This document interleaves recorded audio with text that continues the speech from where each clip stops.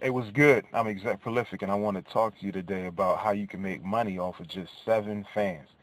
That's right, seven fans. And what I mean is that you don't need to have 5,000, 10,000, 100,000 fans to see money. The musician, having a fan base isn't about just the number of fans. It's also about the connection foremost. That's the only way a fan is going to kick money out to you. They have to trust you, feel that you, and, and also like you before they even spend any money with you.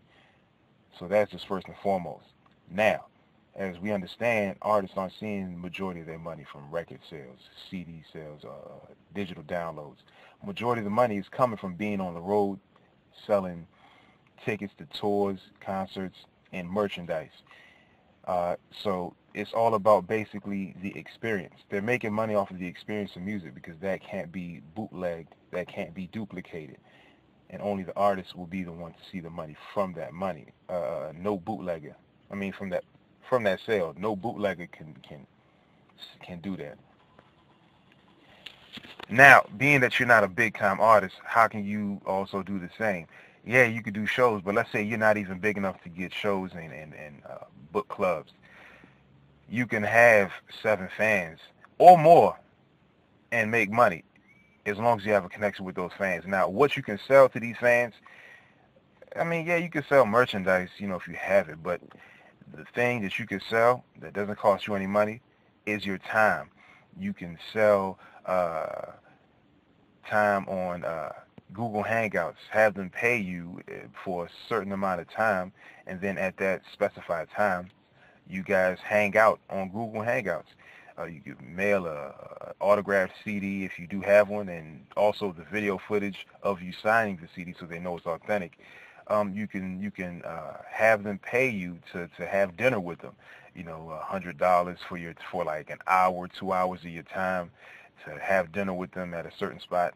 Um, uh, a pre-show performance. Let's say you do have a bunch of fans that want to see you perform. You can also have them pay you to have a dinner with you before they uh, see you perform. Or you can do an in-house performance.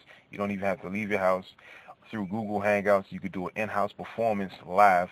They pay you before the performance, and then at the specified time, they watch you perform in your house, and you put on a great show for them live after they've paid.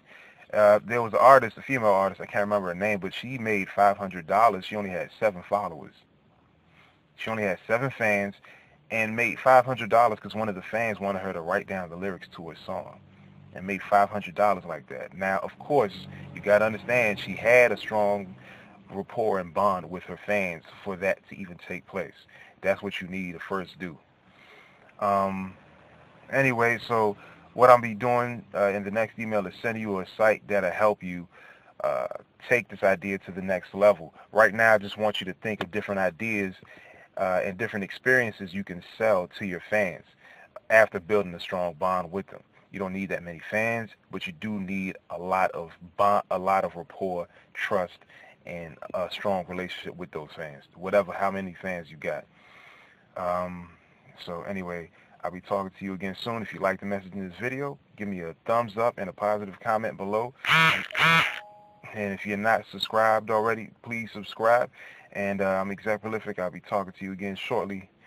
Peace.